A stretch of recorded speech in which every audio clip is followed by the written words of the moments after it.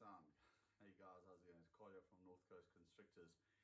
Today I'm going to pull out one of my Dumeril's boas. She is a female, nearly three years old. She's a big girl.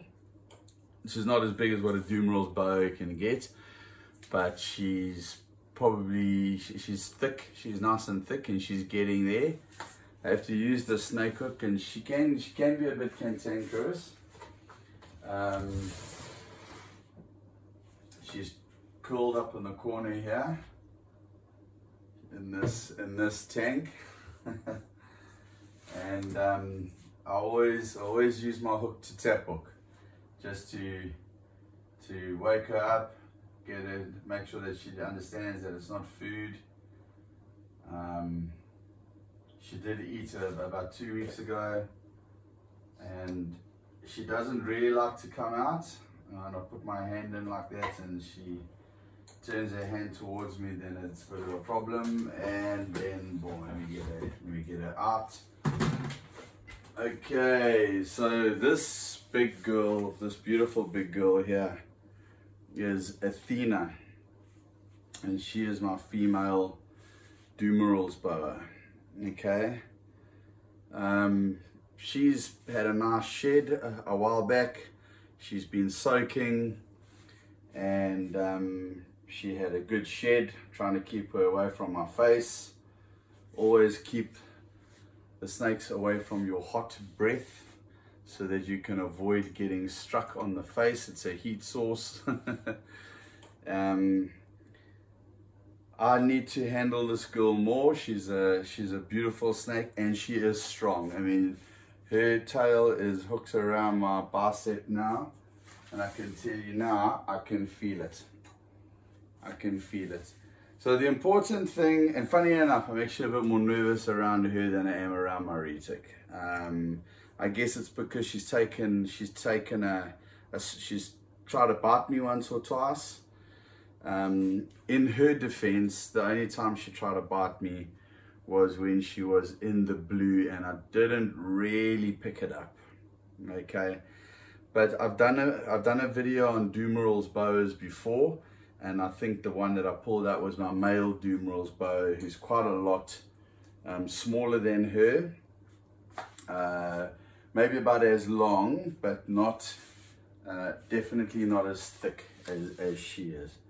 Okay, this is a this is a nice big thick heavy girl here. And she actually has got a pretty cool temperament. She's a, she is a lovely snake. She's relaxing now. She's uh, she doesn't really like to come out of her tank. She likes to chill in the tank. Um, and uh, but you know yeah I want to I want to handle her more. I want to get her more socialized. And uh, just also want to show that they are really good pets Dumeril's boa is a is a nice uh, is a nice snake to have in between a ball python and let's say a retic or or a Burmese python or or something like that. Okay. I don't really like her coming up around my face just yet. Okay. Um, I haven't handled this snake um, as much as what I handle my retics and so on and so forth. So, so when she starts going around the face, that's just for me at the moment a bit of a no-no.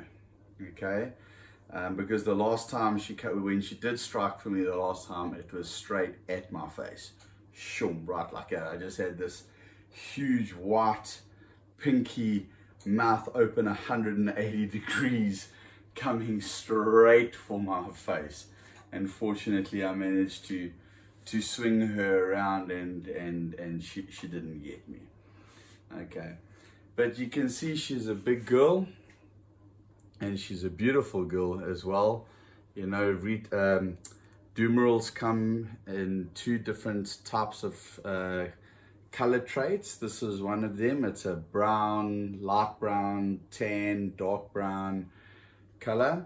And then they can also come in a, well, what you would like the Axanthic, the pastel Axanthic uh, ball pythons, that black and white, gray color, exactly like where you'd see the, the, the browns and the tans on this, it would be black and white and gray. And that is a beautiful, beautiful, beautiful snake. Um, it really is. And I actually would really, really like to get one that is that is that color. Um, so this girl, uh, you know, I don't breed um, to make money on these snakes. Uh, this this girl is more of a pet than anything else.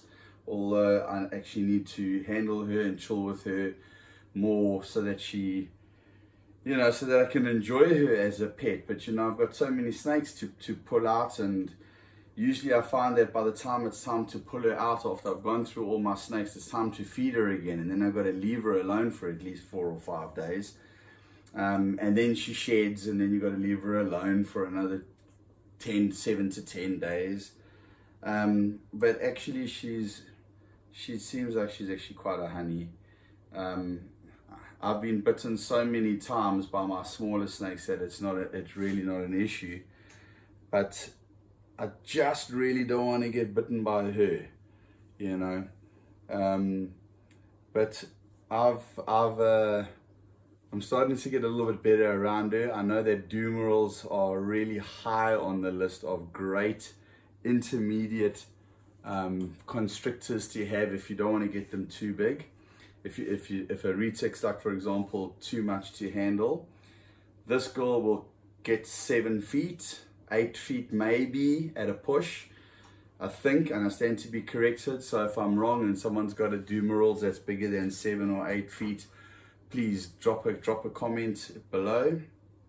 Um, but yeah, you're really getting the the docile nature of a of a ball python. And don't get me wrong, I'm not saying every ball python is docile. And the other day I did a video where I was saying, and I was handling my retic, and I was saying, if you get bitten, it's your fault, etc., etc. Nine times out of ten. I, I kind of want to retract that statement a little bit because, sure, there are things that you can do most of the time when you get bitten, but you do get snakes that are just some of them are son of a bitches. Okay, there you can do nothing to that snake, and the snake will just literally want to bite you. You can be as gentle as you want. You can try and socialize socialize it as much as you want. You can um, you can handle it as much as you want. You can be careful with it. You can tap hook train it, and there's just it's almost sometimes there's no, no, no taming it down. For example, I've got a Ridley's cave dwelling rat snake and I handled it about 10 minutes ago and I think I got bitten 15 times. Okay. Um, and it just, nothing that I did wrong. It, it was defensive strikes for sure. Um, it was nervous, it was scared. However, I was doing everything right. I was calm, I was gentle, I took the, I took the bites. Um, you won't really see anything. Drew a little bit of blood, but they're such tiny little pinpricks. Um, but there is just nothing really that I can do with that snake except for handle it more and and try and get it to to to socialize. Like this girl here, I haven't had her out for weeks, and this is her first time out in in weeks. And look look how chilled she is. I'm still absolutely on my guard with her. Um, and and maybe I don't even need to be. You know, I've always said Dumeril's boas are just such fantastic pet snakes, but preferably, you know, when you feed a snake, you leave it alone for 48 hours. A big snake like a like a Dumeril's like this, I would leave alone for three days. Uh, and a retic, I wouldn't pick them up for three days. Um, but the general rule, rule of thumb is 24 to 48 hours and then and then after that pull it out every single day and hold it interact with it let it get used to you and and you get used to you get used to it uh, and it can be rewarding and it can be cool. And she's heavy i tell you something now. So like if you don't want a snake that's going to get i mean she get a bit bigger than this. I'm i'm six foot one six foot one inches. And and this snake will easily get as long as i am tall. Uh, if I had to extend my arms out uh, the length of my my you know you can I can't I actually don't want to stretch her out because I don't want to hurt her or anything like that, and I don't want to startle her, but I'm, I'm trying to get a bit of a, I haven't measured her, um, but I would say she's probably about five, four, four and a half feet maybe. I don't know. From the, from the tip of my fingers to my shoulder here is one meter and she's curled up a little bit. And I'm, I'm 180, 185, 1 meter 85. So I would say she's about four feet, maybe. And she's got like a, a lovely yellow patch underneath, I mean a, a, white patch if she cooperates. What's up here? And underneath her, her, her jaw. I don't know what else to say much about it. Incredibly intimidating looking snake. I mean, when you look at that face and those eyes, that is a scary looking snake. It, it is. But I mean, you can just see how, how chilled she is. I think she's just getting used to me again. I used to hold her when she was smaller. I used to hold her a lot, you know, and um, you know, my, since my collection has grown and since I've got more of these snakes, I don't hold her as much as what I used to, which is, which is a pity. I really do need to hold him. So I have a male for her. His name is Thor. He's roughly the same age and uh, they're not related. They're not, they're not from the same clutch of eggs. He's the same color as her. And next year in 2023, I'm going to pair them up and I'm going to make some baby Dumerils that I will put up for sale here in South Africa. One of the great things about where I live in South Africa, and where I live in my province, is that you pretty much don't need a permit for most snakes. Like I know in other provinces in my country, you need permits for ball pythons and and retics and all sorts of things. But um, I know I know you do need a permit for for boa constrictors, BCRs, um, BCCs. So so I know that for a fact, but I don't keep any boa constrictors. This is a Dumeril's boa, which is native to Madagascar. Uh, she's not the same as a boa constrictor. Um, but and she won't get as big as a boa constrictor. So this is my big girl Athena and let me tell you, I don't do feeding videos because it's, um, I just, I don't know. I know guys, uh, guys do the feeding videos and they, they get lots of likes. I mean, one day I can do a, I can do a feeding video where I, I offer her a rat and give her frozen thawed and it's a good rat, like, you know, just pretty much the same size as her thickness of her, of her girth. But let me tell you, when she hits that rat and she takes it and she grabs it out of the tongs, you know, I use these, uh, I use these tongs to, to put the rat in and dangle it in front of her. You know, feeding, feeding live is, is illegal and frowned upon and you're not supposed to do it. So we feed our snakes frozen thawed. Um, and uh, yeah, but when she hits it, you can feel that power. Uh, and uh, you just think, Rocky Moses, I don't want to get bitten by that. I don't want her to hit my arm like that and coil as if she thinks I'm food. Anyway, so guys, if you're looking for a nice constrictor, one that's not going to get too big, one that if you socialize and you handle, it's not going to be nearly as aggressive as a reticulated python, a snake that's going to grow bigger than a ball python, not as big as a Burmese python, um, but still be impressive enough to show off to your friends and and uh, and still have the enjoyment of a snake that you're not going to need two people to to handle. You're not going to have to be in the room with somebody else when she's fully grown in case she starts to constrict you around your neck like a, like a retic. Once they get over 10 feet you're usually going to have to have a second person in the room with you when you start pulling them out in case you run into a little bit of trouble. If you're a pretty strong guy pretty strong muscular guy and you've you got some strength then yeah you'll, you'll be able to handle a, a retic over 10 feet if you know what you're doing. Even up to 15 feet you know but you, you're going to have to have some power my brew you're gonna have to you're gonna you're gonna because you're gonna have your hands full. But if if you are if that's if you you know you hit the gym and you and you you've got the strength to handle a snake like that then that's the only time that you should even take a chance on handling anything that that is that big. But a, a Dumeril's like this no problem. You guys will be fine if she latches onto you and bites you and starts to coil you you're just going to be in a shitload of pain but you can get her off um, a couple of tricks to getting a snake off um, from biting you never ever pull your hand away and never ever yank your hand out. Those teeth are curved. You could break teeth off in your skin. And not only that, you can create an abscess in the mouth of the snake. Uh, one of the first things you do is, what I, I do is I go straight for my, my alcohol uh, hand sanitizer here, if I can. And if I've got one hand free, I will just spray this on her mouth. They hate the taste. Same with mouthwash. If you can get your hands on mouthwash, if you're close to it, that's closer to me. Or if you can get into the bathroom, the bathroom is right next door to my snake room. Turn on the hot tap, hold her head or wherever she's biting you, hold it under the tap. Any snake for that matter, anyone that's got a grip on you, one that's coiling you, one that one is thinking that you food.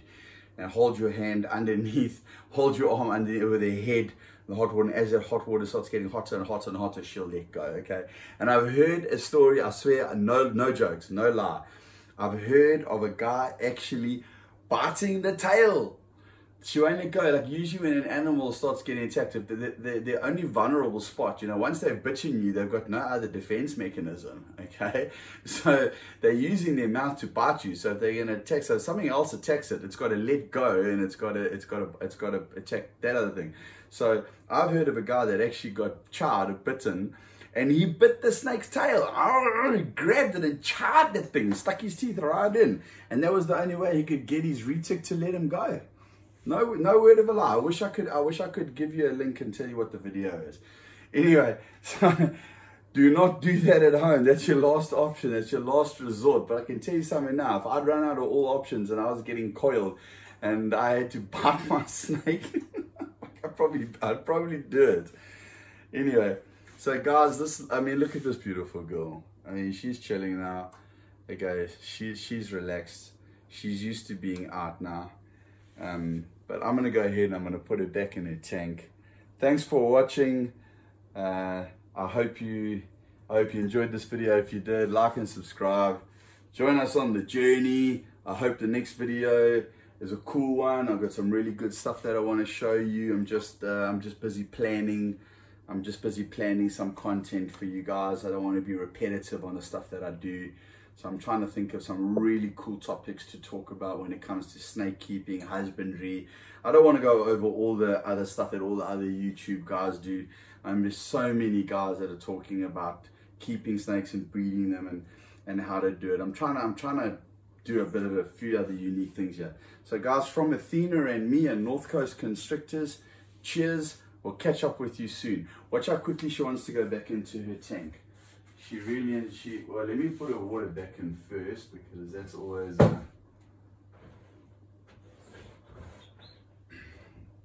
all right. So, watch her not want to go now. Usually she's like, there you go, she's not cooperating. Usually she just makes a beeline for... Okay, so she's doing this especially for the video. I think she wants to be a movie star. Come on, girl. Let's go. Let's get inside the tank now. Let's go. You ready to go? There we go. Now she's going in. Okay. All right. Now she's got the hang of it.